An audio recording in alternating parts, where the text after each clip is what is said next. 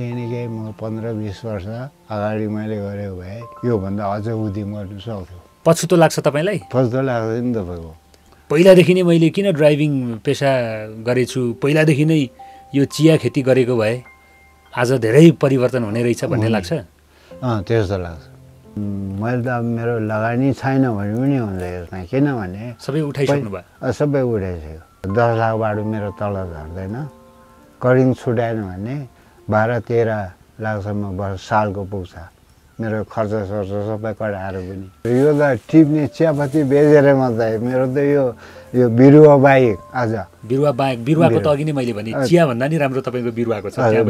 जोड्छु होइन यस्तो तपाईँको सिधाई छेउमा पनि राम्रै आम्दानी पनि छ सजिलो पनि छ अब त्यो एकपल्ट दुःख त गर्नु परिहाल्छ नि जुनै ओहो।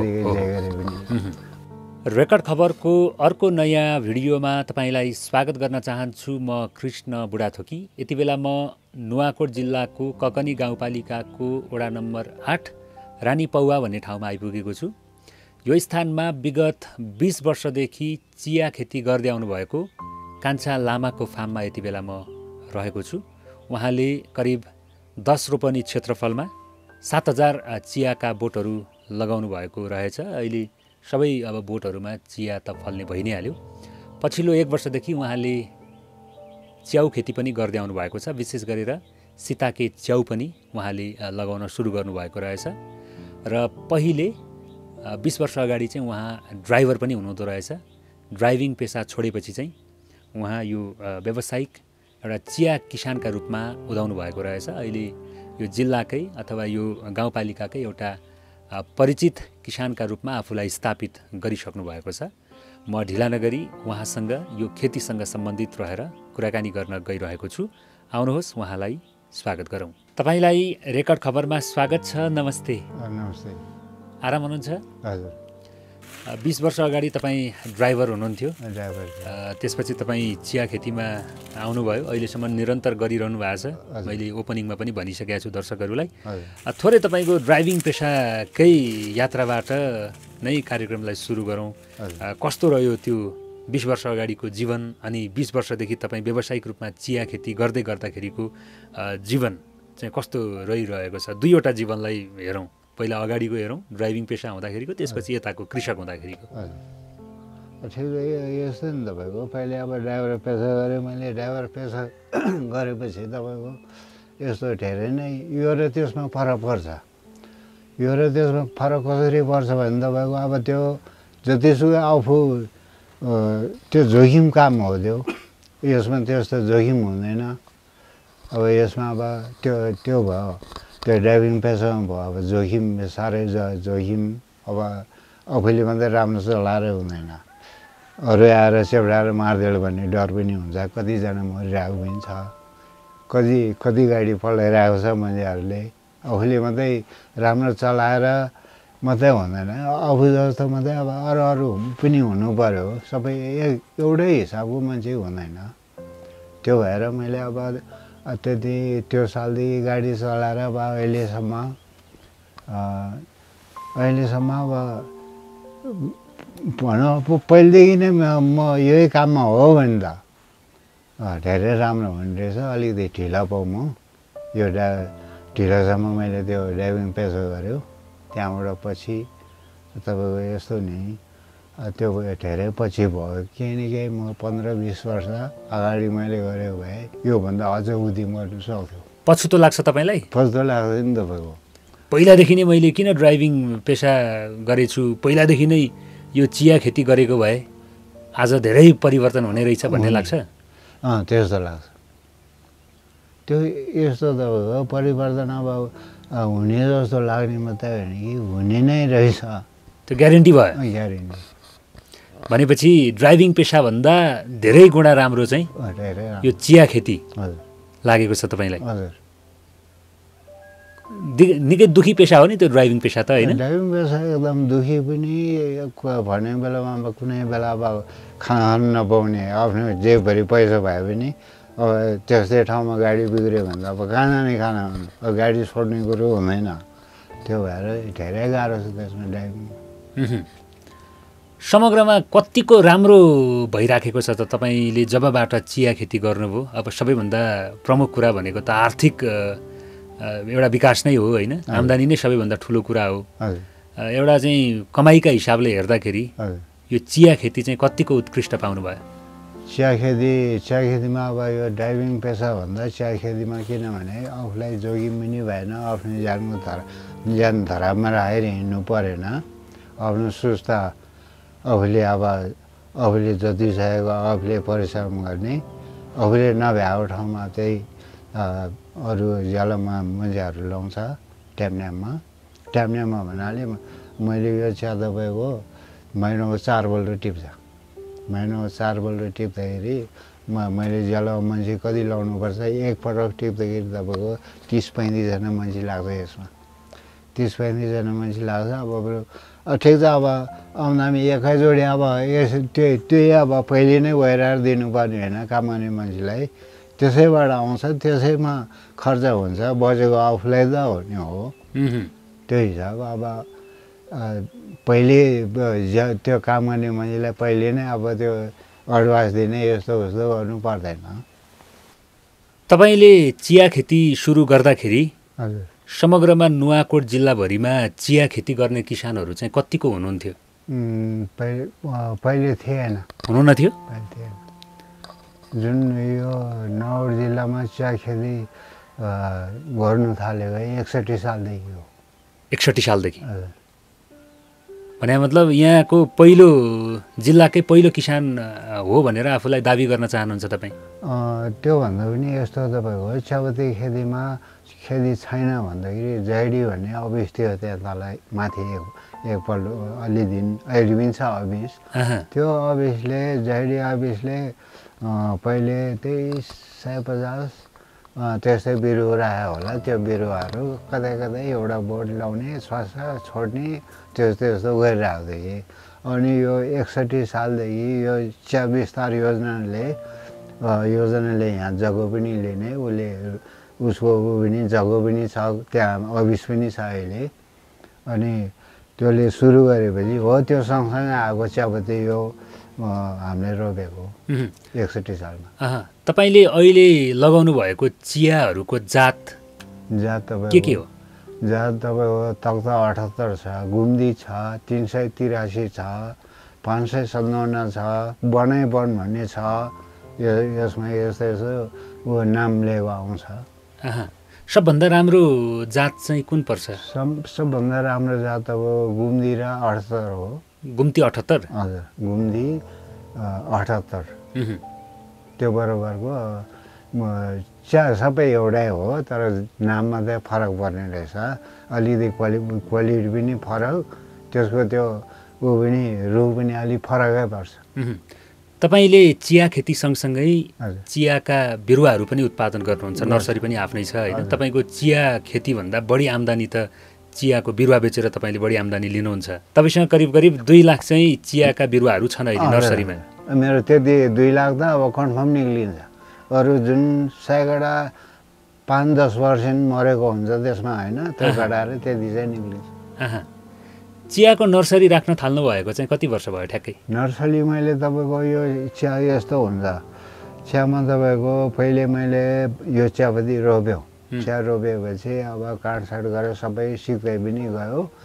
यो चियापत्ती के हुन्छ भने तपाईँको यो जब त बाह्रबाट माथि नगएसम्म माथि जान्छ चियापत्ती त सालैपछि अब यति यति ऐराको हुन्छ नि त्यो त्यो त खाँडछाड गर्ने यादैन गर्दाखेरि बाह्रमा पुगेपछि नि बल्ल यसको नर्सरी राख्न मिल्छ बाह्रमा पुगेपछि नर्सरी राख्ने अनि नर्सरी बाह्रमा पुगिसकेपछि अब भनौँ न यसपालि अब जिरो कटिङ हो भने अब दुई वर्षपछि अब उसमा पुग्छ बाह्र तेह्रमा पुग्छ त्यहाँबाट सत्र अठार त्यस्तो त्यस्तो हुँदै जाने हो त्यो एक एकैचोटि माथि पठाउनु पनि मिल्दैन।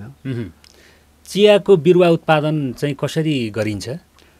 चियाको बिरुवा उत्पादन तपाईँको यस्तो नि बिरुवा उत्पादन अब डाला आफूले डाला राख्नुपर्छ हो त्यसैको लागि नै हो यो बाह्र पुग्नुपर्छ बाह्र कटिङ नभएसम्म बाह्रको कटिङ नभएसम्म हामीले चिया चियापत्ती राख्नु मिल्दैन।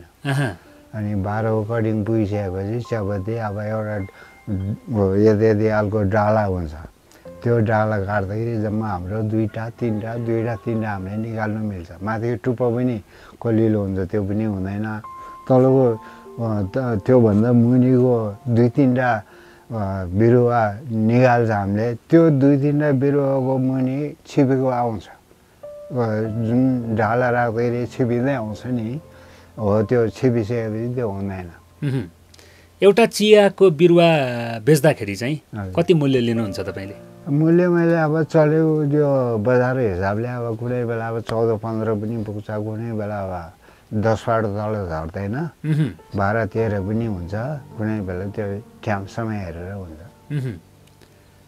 विशेष गरेर कहाँ कहाँ पठाउनुहुन्छ आफ्ना बिरुवाहरू? अर्डर आएपछि नै नर्सरीको। लागि अब तपाईँले तयारी गर्नुहुन्छ पक्कै पनि होइन? हजुर। अहिलेको माग चाहिँ कता कताको छ? कसको लागि तयार गर्दै हुनुहुन्छ? अहिलेको माग छ तपाईँको यो उता थारिएतिर यो थारिएर यो के भन्छ?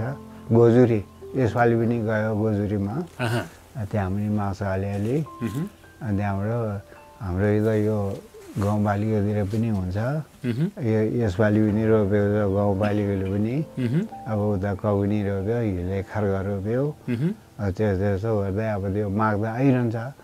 अहिले माग अ, जति भएको चाहिँ यो यो भित्रमा थाहा भएको मान्छेहरूले त अब यो टाइममा यसरी रोप्ने समय भयो भने त उनीहरूले लिन आइहाल्छ अनि बाहिर बाहिरबाट फेरि अफिसमा आउँछ तपाईँको उहुँ, अफिसमा आएपछि अफिसबाट फेरि अब बिरुवा कति छ के छ भन्ने अफिसबाट पनि सोधखोज गर्छ त्यहाँबाट पनि जान्छ त्यो आइरहन्छ।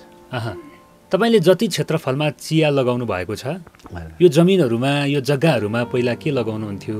पहिलाको खेती र अहिले त अब आकाश जमिनकै फरक छ अघि नै पनि तपाईँले भनिसक्नु भएको छ होइन? पहिलाको जग्गाको यहाँको बनोट कस्तो थियो? पछि चिया लगाउने बेलामा तपाईँले यहाँ के के गर्नुभयो? यो बारेमा भनिदिनुहोस् त। पहिले चाय लाउने बेलामा तपाईँको यस्तो भने पहिले त अब घर घर काँडा काँडा थियो होइन? पाटको जग्गा त हो। काँडा काँडा त्यो काँडा साला सबै भस्काएर अनि मैले एउटै प्लोट एउटा ठिका बनाएँ। एउटा ठिका बनाएपछि एक रोपनी बराबर चिया चियाको बिरुवा एक रोपनी बराबर सात सय बिरुवा जान्छ। त्यो हामीले गयो एक रोपनी जग्गा सात सय बिरुवा गयो भने एक रोपनी जग्गा गयो भने एक रोपनीभित्र हामीले रोपिसक्यो भने हामीले यसरी नै थाहा पाउनु पऱ्यो। त्यस्तो चिज हो। हामीले अब त्योखेरि रोप्ने अनि यस्तो हुन्छ कि तपाईँको अब चियापत्ती त्यसरी रोपिसकेपछि अब यो जुन अहिले मैले यो यस्तो भिरालो बनाएँ अलिअलि। हजुर हजुर। अलिअलि भिरालो बनाएको किनभने अब काँडा छोडेर रोपौँ भने साढे तिन सय चार सय बिरुवा जान्छ जम्मा। अब यसरी प्लट बनायो भने सात सय बिरुवा गयो। त्यसमा भर पर्छ गरममा रोप्ने र भिरालो बनाएर रोप्नेमा सम्म बनाएर एकै एउटै प्लट बनाएर रोप्नेमा। अनि फेरि एकदा यसमा यस्तो छ पानी जमेपछि फेदमा रोपिसकेर पानी जमेपछि त्यो बिरुवा मर्छ। मर्ने सम्भावना धेरै जस्तो मर्छ। त्यो भएर यसरी बनाएको। त्यही भएर भिरालो बनाउनु भिरालो बनाउनु। भिरालो जमिन नै चिया खेतीको लागि एकदमै उपयुक्त हुन्छ। उहुँ। जम्मा लगानी कति गर्नुभएको छ चिया खेती गर्नको लागि? लगानी त यस्तो हेर्नुहोस् तपाईँको मेरो अब पहिला अब ड्राइभर पेसा त मैले भनिहालेँ अघि नै होइन? यसमा लगानी भनेको मैले पहिले फर्स्टमा त्यही लाख गऱ्यो यो जग्गा बनाउने बिरुवा लिने यानदेन गर्दाखेरि। त्यहाँबाट पछि त अब यसैबाट आउने यसैबाट थप्ने त्यो जुन आगो लगानीले त्यसैमा थप्दै जाने बढाउँदै जा बढाउँदै जाने आफूले त्यो त्यो हिसाबले मैले गरेको ठुलो त्यो लगानी यसमा छैन। तैपनि अनुमान कति जति भयो होला लगानी? अनुमान लगानी अब मेरो अब अहिलेको हिसाबले त मैले त अब मेरो लगानी छैन भने पनि हुन्छ यसमा। किनभने सबै उठाइसक्नु भयो। सबै उठाइसक्यो। मेरो किन केही न केही अब सालमा मैले कडिङ छुट्याउने सालमा त्यही दसबाट दस लाखबाट मेरो तल झर्दैन। कडिङ छुट्याएन भने बाह्र तेह्र लाखसम्म वर्ष सालको पुग्छ। मेरो खर्च सर्च सबै कडाएर पनि। तपाईँले वर्षमा चिया बेचेर बाह्र तेह्र लाख रुपियाँ आम्दानी गर्नुहुन्छ। हजुर। त्यो सबै खर्च कटाएर सबै सबै खर्च कटाएर जति मेरो मेरो आम्दानी आउँछ मैले घरमा बुझाउने पनि होइन सबभन्दा अभिभावक भन्ने नै मै नै हो घरको। तर त्यो आगो खर्च म बदमास गरेर कतै गएर त्यो मास्ने यस्तो यस्तो पनि होइन। यसैबाट आउँछु यसैमा थपिरहेको छ थपिरहेको छ अहिलेसम्म थपिरहेको छ मैले। दस रोपनी जग्गामा करिब सात हजार चियाको बोट लगाउँदाखेरि वार्षिक बाह्रदेखि तेह्र लाख रुपियाँ आम्दानी गर्न तपाईँ सफल हुनुहुन्छ। यो तपाईँले एकदमै क्लियर कुरा गर्नुभयो। क्लियर यो त टिप्ने चियापत्ती बेचेर मात्रै मेरो त यो यो बिरुवा बाहेक आज। बिरुवा बाहेक बिरुवाको त। अघि नै मैले भने चिया भन्दा नि राम्रो तपाईँको बिरुवाको छ। त्यहाँ पनि अलिकति। जोड्छु होइन? त्यसो भए दुवैलाई जोडेर चाहिँ कति जति हुन्छ त वर्षको आम्दानी? दु यस्तो हुन्छ नि तपाईँको नर्सरी सम्बन्धीमा फेरि नर्सरीमा यस्तो हुन्छ। नर्सरी मैले अब ल अब दसदेखि माथि चौध पन्ध्रसम्म पुग्छ। एउटा बिरुवा बराबर। अब एक हजार बिरुवा बेच्दाखेरि ल पन्ध्र रुपियाँ पुग्यो भने क एक हजारको पन्ध्र हजार भयो। तपाईँसँग त अहिले दुई लाखभन्दा बढी त बिरुवा छ। त्यो पनि सबै अलरेडी डिमान्ड आइसकेको सबै बुक भइसकेको बिरुवाहरू छ। डिमान्ड पनि आउने। अब फेरि यस्तो हुन्छ नि त्यो यसलाई पनि अब कुट्नुपर्छ अझ उमेर नभएसम्म मैले दिनु पनि मिल्दैन बिरुवा। त्यसको उमेर पुगेर कति उमेर पुगेपछि बिरुवा लगभग तपाईँको अब बिरुवा सप्रेर आयो भने एक वर्षमा पनि यो छान्नु मिल्छ। यति बिरुवा सप्रेन भने दुई वर्ष चाहिँ यसलाई ब्याडमा राख्नै पर्छ। समय पनि राम्रै लाग्दो रहेछ नि त लाग्छ। समय दिएको हिसाबले समय लागेको हिसाबले त्यहाँबाट प्राप्त हुने आम्दानीबाट चाहिँ तपाईँ फेरि एकदमै खुसी हुनुहुन्छ। खुसी नै छ मलाई दुईतिरको चियाको बिरुवा बेचेर यता ग्रिन टीहरू अब यो विभिन्न टी पनि चार प्रकारका टी तपाईँले बनाउनु हुँदो रहेछ। Green tea white tea golden tea होइन ब्ल्याक टी। Black tea. यो सबै बेचेर चाहिँ वार्षिक सबै गर्दाखेरि के कति आम्दानी हुन्छ? ताकि तपाईँका कुराहरू सुनेर अरूलाई पनि केही प्रेरणा प्रेरणा मिलोस् भन्ने हाम्रो चाहना हो। त्यही त अब त्यो सबै कुरो जुन यो चियापत्ती चियापत्ती मात्रै बेचेर त यो यो चियापत्ती मात्रै बेचेर काम नपुग्ने भएर अब आफूलाई काम पनि चाहियो नि। अब काम नपुग्ने भएर मैले नर्सरी सम्बन्धीमा राखेर नर्सरी चियापत्ती गर्दाखेरि नर्सरीको त अब कुरै नगरौँ खालि यो चियापत्तीको मात्रै। अब यो कडिङ ननिकाल्ने सालमा म बाह्र तेह्र निकाल्छु। बाह्र तेह्र बाह्र तेह्र लाख। हजुर कडिङ निकाल्ने समयमा सालमा दसबाट मेरो तल तल झर्दैन। एभरेजमा दस लाखको हाराहारीमा तपाईँले आम्दानी गर्नुहुन्छ। हजुर। यो चियाबाट मात्रै। हजुर। उता बिरुवाको भन्न चाहनुहुन्न? हजुर। त्यो अब बिरुवा यस्तो नि तपाईँको अब हजार अब एक हजार बिरुवा बेच्यो भने कति आउँदो रहेछ भन्ने अनुमान त अरू बाहिरको मान्छेलाई पनि अनुभव भएर आएको हुन्छ। एउटा बिरुवाको मूल्य सोध्ने बित्तिकै यति बिरुवाको यति त्यो जाने हेर्ने दर्शकले आफै बुझिहाल्नुहुन्छ। बुझिहाल्नु। एउटा बिरुवाको। दस पन्ध्र बिस रुपियाँसम्म पर्छ। पर्छ। तपाईँसँग दुई लाख बिरुवा छ अहिले पनि। त्यो सबै। बुक भइसकेको छ। भनेपछि अब कति आम्दानी हुन्छ भन्ने कुरो सोझै किसानहरूले बुझ्न सक्नुहुन्छ। दर्शकहरूले बुझ्न सक्नुहुन्छ। त्यसलाई हामीले धेरै जोड्न चाहेनौँ। तपाईँले सीताके च्याउ पनि पछिल्लो एक वर्षदेखि गर्दै आउनु भएको रहेछ होइन। के छ यो सीताके च्याउको चाहिँ समग्र अवस्था कस्तो छ? किन गर्नुभयो यो खेती? यस्तो तपाईँको सिधाको च्याउमा पनि राम्रै आम्दानी पनि छ। सजिलो पनि छ अब त्यो एकपल्ट दुःख त गर्नु परिहाल्छ नि जुनै खेती। जे गरे पनि पहिले राख्नुलाई गाह्रो अति नै गाह्रो छ रुख काट्नु पऱ्यो ल्याउनु पऱ्यो त्यसलाई होल खोप्ने त्यसलाई औषधि हाल्ने पानीले भिजाउने हरेक त्यो त समय समय हेरेर त्यो गरिरहनुपर्छ यो सिधै च्याउको लागि चाहिँ मैले के गरेको छ भने ठिक छ म बिजी त अब यो चियापत्ती सम्बन्धीमा मेरो नर्सरी र यो चियापत्ती सम्बन्धीमा म बिजी नै मैले अलि नभ्याउने हिसाबले मैले छोरालाई ल तिमी आफै गर गर्ने तिमी नै हो तिमी तिमीहरू आफै गरेर खानु। यस्तो यस्तो गर भन्ने मैले रेखदेख गरिदिने यसो काम गर्ने उसलाई जिम्मा ए लागेको भनेको मतलब सीताके च्याउको चाहिँ पार्ट नै छोरालाई जिम्मा दिनुभएको छ तपाईँ मात्रै चियामा चियामा। खटिनुहुन्छ। हजुर। चियामा चाहिँ म हरम्बर मेरो ज्यानले सकेसम्म म युएसमा खोजिरहेकै हुन्छ कति वर्षको हुनुभयो अहिले? अहिले बहत्तर पुग्यो। बहत्तर वर्षको। हुनुभयो। यो उमेरमा पनि तपाईँ पसिना निकालेको निकालै आफ्ना हजुर। पाखुराहरू बजारेको बजारै हुनुहुन्छ। हजुर। जति सक्दो यो हामीले काम गर- गर्दै जाने उता दौडधुप गर्ने जति गर्नु सक्यो उति नै हामीलाई फाइदा हो। शरीरलाई फाइदा। अब भनौँ न अब एक ठाउँमा थुपारेर बसेर मात्रै हुँदैन। आफ्नो शरीर चाहिँ बिगार्छ त्यसो गर्दा उहुँ, जति चल्नु सक्यो हाराबारा यो हरियोहरू जति आफूले चलाउनु सक्यो उति आफ्नो ज्यानलाई फाइदा हो शरीरलाई। अब नेपालको यो धेरै ठाउँहरूमा चिया खेती विस्तार गर्ने भनेर गाउँलेहरू अथवा विभिन्न सङ्घ संस्थाहरूबाट पनि यसको प्रयास भएको छ होइन? तर। सबै ठाउँमा यो खेती चाहिँ सफल हुन सकेको छैन।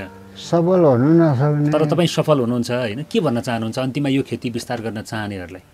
ठिक छ मैले त यो यस्तो तपाईँको अब उनीहरू अब बाहिर धेरै जस्तो उदा इलाम धनकुटा झापा त्यहाँतिर अब धेरै जस्तो मान्छे कुनै मान्छे त अहिलेसम्म पुगेको पनि छैन। म के गर्थेँ भने अघि त्यो गाडी चलाउने कुरो गरेँ नि मैले मैले नाइट बसहरू चलाउने हिँड्दैन गर्दाखेरि त्यो रिजर्भमा म इलाम पुग्यो तपाईँ धेरैपल्ट पुग्यो। इलाम पुगेपछि अह मेरो ठाउँ पनि यस्तो गर्नु पाए हुन्थ्यो यस्तो होला कि नहोला भन्ने त्यसमा पुगिरहेको थियो। जब त्यो गर्दा गर्दै मैले म त्यसरी हिँड्दा हिँड्दै विस्तार योजनाले विस्तार योजनाले यहाँ जग्गा लिने उसले नसली राख्ने उसले विभिन्न ठाउँमा मान्छेहरूलाई दिने गर्यो। त्यो गरेपछि अनि त्यहाँबाट त्यसबाट म त्यही कामै छोडेर यसमा लागेको हो म। उहुँ। जे होस् गरियो भने यो खेती राम्रो छ यसबाट पनि निकै राम्रो आम्दानी लिन सकिन्छ। कतै। जानु पर्दैन आफ्नै गाउँठाउँमा बसेर पनि जीवन निर्वाह गर्न गाह्रो छैन भन्ने एउटा उदाहरण तपाईँ हुनुहुन्छ। तपाईँ एउटा सफल किसान अगुवा किसान भएका हिसाबले पनि हामीले तपाईँलाई आजको यो कार्यक्रममा समेट्ने प्रयास गऱ्यौँ। तपाईँले हामीलाई समय दिनुभयो आफ्ना अनुभवहरू जस्ताको तस्तै राखिदिनु भयो यहाँलाई धेरै धेरै धन्यवाद दिँदै हामी बिदा हुन्छौँ। तपाईँसँग फेरि पनि हामी अर्को कार्यक्रममा भेट्नेछौँ। अहिलेलाई छुट्छौँ। नमस्ते। नमस्ते।